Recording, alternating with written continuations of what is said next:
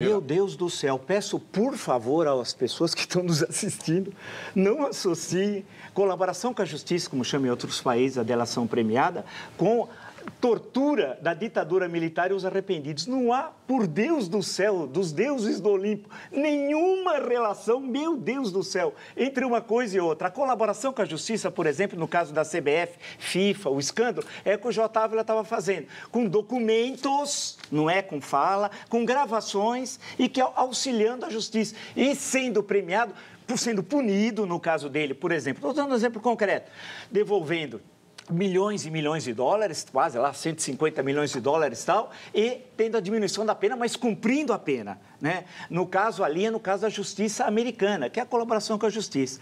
Quando isso passou a ser adotado no Brasil, isso foi um passo à frente. Isso não tem nada a ver com tortura, com pau de arara, como teve no regime militar, que é algo abjeto, né? que tem sempre ser lembrado. De, colaboração com a justiça é outra coisa, e uh, eu, por exemplo, uso aqui a expressão de Vladimir Aras, chefe da cooperação internacional do Ministério Público Federal, que explica como que a delação premiada, ela facilita o trabalho da justiça, por exemplo, de recolher dinheiro escondido no exterior que retorna ao Brasil aos cofres públicos. Isso eu estou me referindo a um procurador da, do Ministério Público Federal. Não há nenhuma relação entre dedo duro, arrependido, tortura e delação premiada.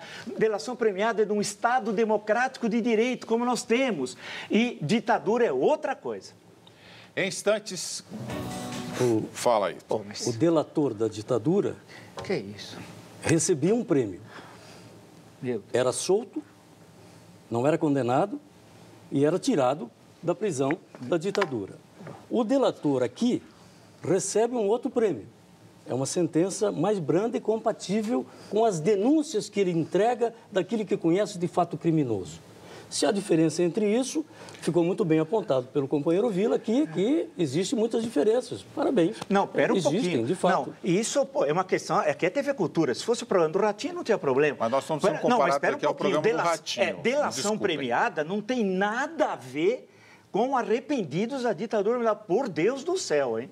Uma boa noite para os senhores. Tem uma sugestão aqui para os senhores é. dar um aperto de mãos. Oh, claro. Esse, esses dois se amam. Vocês não acham em casa que eles não são amigos? o aperto que dei quando cheguei. São grandes amigos. Ayrton Soares, Marco Antônio Vila, obrigado pela participação.